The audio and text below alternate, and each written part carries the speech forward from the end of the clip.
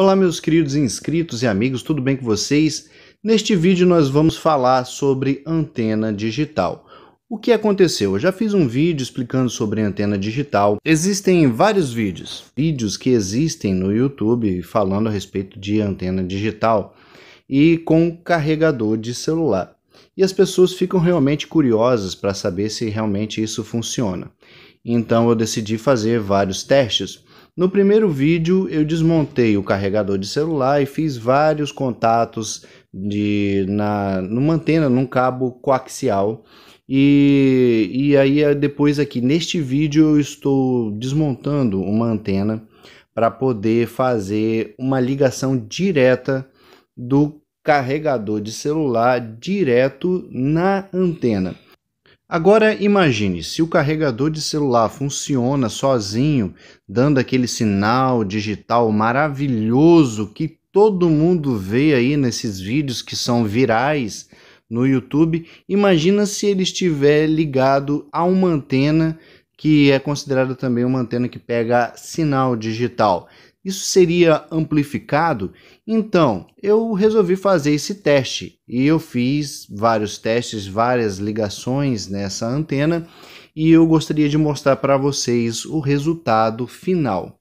Mas para vocês entenderem como funciona um sinal digital, ele é um sinal RF, ele vem como ondas. E saindo da emissora, ele tem um trajeto a percorrer até que chegue na casa do usuário. Esse sinal encontra algumas dificuldades, por exemplo, como árvores, montanhas, prédios. Isso vai dificultando a, a onda chegar perfeitamente até na sua casa.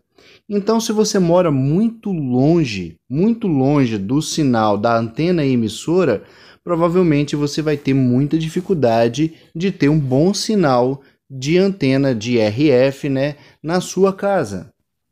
Isso me faz lembrar da história sobre a TV a cabo. Existia um senhor que queria vender televisão e para poder ele pegar a televisão e vender para o cliente, ele precisava de um bom sinal para mostrar que a televisão funcionava.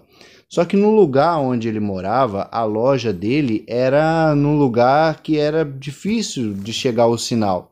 Então ele tinha que pegar a televisão, levar no alto da montanha, onde a antena pegava um sinal bom, e ele poder mostrar para poder mostrar para o cliente que a televisão tinha um bom sinal, pegava e funcionava. Então ele teve uma ideia, em vez de pegar agora a TV e levar no alto da montanha para que as pessoas vissem que ela funcionava, ele resolveu instalar uma antena no alto daquela montanha para receber o sinal e começou a descer um cabo até a loja dele, onde funcionava bem a televisão da, da loja. Ele podia mostrar que a imagem funcionava legal e ele podia vender isso para vender a televisão para os clientes. E o TV, a TV a cabo funcionou assim, começou desse jeito. Então ele pegou esse cabo e começou a distribuir da loja dele para outras casas vizinhas, distribuindo, ou seja, o sinal que ele recebia bem, né, da, da antena que ficava no alto de um morro. E assim começou a surgir a TV a cabo. Essa foi a origem da TV a cabo.